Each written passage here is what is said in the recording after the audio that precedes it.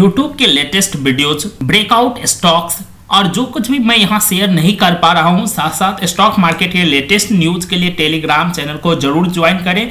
Link video के description में है। साथ ही साथ आप टेलीग्राम पे स्टॉक बाज़ार ओरिजिनल सर्च करें और इस तरह का कुछ आइकन दिखेगा, उसे ज्वाइन कर ले। इस वीडियो में हम बात करेंगे, अभी जो ग्लोबल मार्केट है और हमारा जो मार्केट है, उसमें क्या हो सकता है? देखिए, अभी बिल्कुल भी शेयर को बाय सेल करने का समय नहीं है। थोड़ा सा मार्केट से दूरी बना रखिए और मार्केट को यहाँ पर देखिए। रसिया क्या कर रहा है? उसी अनुसार यहाँ पर रिस्पांस देखने मिलेगा आपको मार्केट में। अगर हम मेजर इंडेक्स की बात करें तो देखिए, निफ्टी हमारा लगभग फाइव परसेंट आज डाउन है। निफ्टी बैंक ये भी फाइव परसेंट से ज़्यादा का डाउन है। भिक्स थर्टी परसेंट का यहाँ पर तेज़ी देखने मिला। देखिए थर्टी परसेंट तेज है भिक्स मतलब वॉलेटिलिटी जो है वो काफ़ी हाई देखने आपको मिलेगा। तो इतने ज़्यादा वोलेटाइल मार्केट से आपको दूरी बना के रखना है, जो कि मैंने पहले ही कहा दिया कि विक्स यहाँ 24 जा चुका है। जैसे विक्स मेरा 20 से ऊपर जाएगा, हम थोड़ा मार्केट में जो है, यहाँ पर सतर्क रहेंगे, क्योंकि मार्केट जो काफ़ी वोलेटाइल थी अगर यहाँ हम कोई पॉजिटिव खबर आता है रशिया को लेकर के, यूक्रेन पर जो वार हो रहा है, जो लड़ाई है वो रुकती है, और उस पर आक्रमण रोका जाता है तो यहाँ पर मार्केट पूरी तरह से आपको ऊपर जाता हुआ देखने मिलेगा। उसको हम न्यूज़ बेस्ड ना समझ करके यहाँ पर भिक्स बेस्ड समझते हैं कि भिक्स हमारा 20 से ऊपर है, काफ़ी ज़्यादा ये ऊपर जा चुका है तो हम यहाँ पर थोड़ा सा ट्रेडिंग को अवॉइड करेंगे। या जो ब्लू चिप कंपनियाँ हैं, उसके शेयर को आप गिरावट में बाय कर सकते हैं, अगर आपने पोर्टफोलियो में ऐड नहीं किया है। अब बात करते हैं ग्लोबल मार्केट डॉजोस दो परसेंट डाउन है।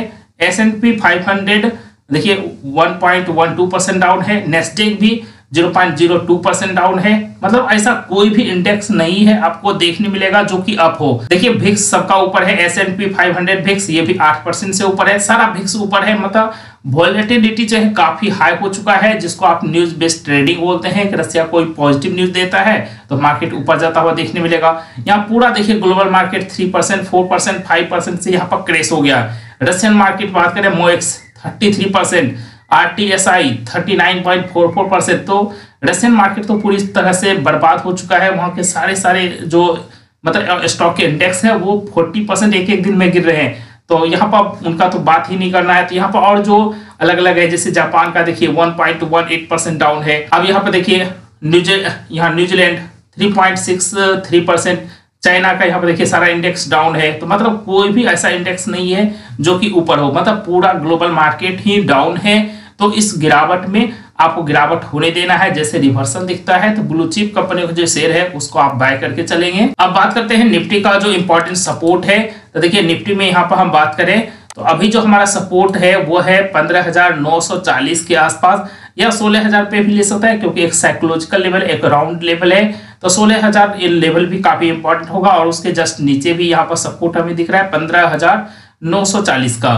और फिर इसको ब्रेक करता है तो फिर आपको पंद्रह हज़ार पाँच सौ, पंद्रह हज़ार पाँच सौ पर सपोर्ट देखने मिलेगा। ये जो है पूरा का पूरा रीजन ही सपोर्ट रीजन है। जब तक हम इस रीजन के नीचे नहीं चले जाते मतलब पंद्रह हज़ार पाँच सौ के नीचे ट्रेड नहीं करने लगते हैं, तब तक हम बेरिस नहीं है। मतलब हमारा मार्केट जो अभी भी साइडवेज हम कह सकते हैं। थोड़ा सा देखिए अप डाउन अप डाउन मतलब वोलिटिलिटी देखने मिला है।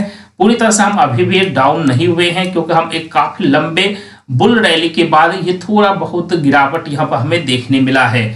तो ये गिरावट जो है एक सार फॉल में तब्दील हो सकता है। जब हम इसके नीचे चलेंगे ऐसे हम यहाँ पर 200 डे मूविंग एवरेज को ब्रेक कर चुके हैं। अगर इस 200 डे मूविंग एवरेज को नीचे सस्टेन हो जाते हैं तो फिर हमें ये गिरावट अच्छा खासा दे, नीचे देखने मिल सकता है। तो ये हम मान के चलेंगे कि इस रीजन को ब्रेक करें। 15,500 और 15,900 के बीच का रीजन को जब तक ये नीचे की ओर ब्रेक नहीं करता है, तब तक हम पूरी तरह से बेरिस नहीं होंगे। अभी भी निफ्टी अगर यहाँ से बाउंस बैक करता है तो हम बुलिस रहेंगे या कहीं हम यहाँ पर साइडवेज रहेंगे। पूरी तरह से बुलिस तब होंगे जब ये हमारा हाइयर हाई बनाना शुरू होगा। जैसे देखिए, ये लोअर हाई हुआ, यहाँ से बाउंस किया लोअर हाई बनाया, क्योंकि ये ऊपर ये हाइयर हाई था। इसके कंपेरिजन में, फिर यहाँ पर हाई लोअर हाई बना, फिर यहाँ लोअर हाई बना, और अब तो ये पूरी तरह से लोअर लो भी बना चुका है, क्योंकि ये सपोर्ट ब्रेक कर दिया। लोअर लो बन रहा है लोअर हाई बन रहा है, तब तक हम बेरिस हैं। जैसे ये हाइयर हाई बनाना शुरू करेगा लोअर मतलब हाइयर लो और हाइयर हाई तो हम बुलिस हो जाएँगे। अभी जो हमारा चार्ट पैटर्न है डेली चार्ट वो पूरी तरह से बेरिस पैटर्न है।